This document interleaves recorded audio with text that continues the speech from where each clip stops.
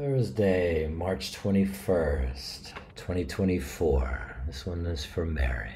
It's a reading tonight from Charles Bukowski's The Last Night of the Earth poems. This is one of the better poems from this reading called The Man with the Beautiful Eyes. When we were kids, there was a strange house. All the shades were always drawn, and we never heard voices in there, and the yard was full of bamboo. And we liked to play in the bamboo, pretend we were Tarzan though there was no Jane. And there was a fish pond, a large one, full of the fattest goldfish you ever saw. And they were tame. They came to the surface of the water and took pieces of bread from our hands. Our parents had told us never go near that house. So, of course, we went. We wondered if anybody lived there. Weeks went by and we never saw anybody. Then one day we heard a voice from the house. You goddamn horror. It was a man's voice, and the screen door of the house was flung open, and the man walked out.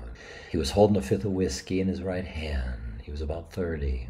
He had a cigar in his mouth, needed a shave. His hair was wild and uncombed, and he was barefoot in undershirt and pants. But his eyes were bright. They blazed with brightness. And he said, Hey, little gentleman, having a good time, I hope. Then he gave a little laugh and walked back into the house. We left. Went back to my parents' yard and thought about it. Our parents, we decided, had wanted us to stay away from there because they never wanted us to see a man that.